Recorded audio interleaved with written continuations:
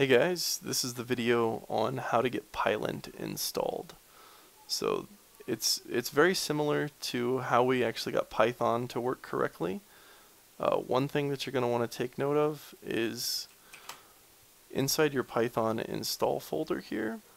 I mean, I'm just going to quickly navigate to mine and blow it up, make it nice and big uh, you're going to have the scripts folder, right? So I installed my Python into this uh, d colon backslash apps python 3.4. Then we have the scripts folder. You go inside here, and there's some more scripts. Uh, the script that we're going to be utilizing to install things is pip. Uh, pip is very common to install additional Python modules. So what I'm going to do is click on this bar up here, copy with Control C uh, this location, and let me go fix my folders again. Okay. And then you're going to go to your system settings and then advanced system settings. Then we have the system properties window here. So inside here you're going to have environment variables. So same thing we did before. We're going to go to our path variable.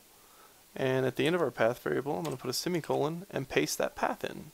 I'm going to hit OK, hit OK, hit OK.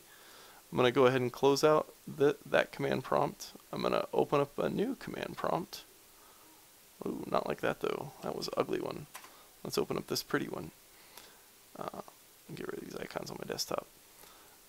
So we have a new command prompt. Um, let me go to my D drive, Python, list out some files here. So I have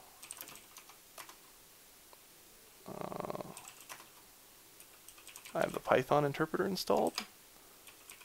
But when I type Pylint, I have nothing. So we're going to fix that. So what you need to do to install Pylint, pip install Pylint. And it does some things.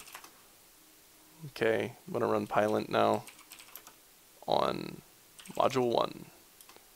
Oh, my module 1 code is terrible. I scored a negative 4.29. So, that's how you install Pylint. Relatively straightforward and easy. Um, just make sure after you add the scripts folder to your path, update or load a new command prompt. Alright, um, thanks for watching.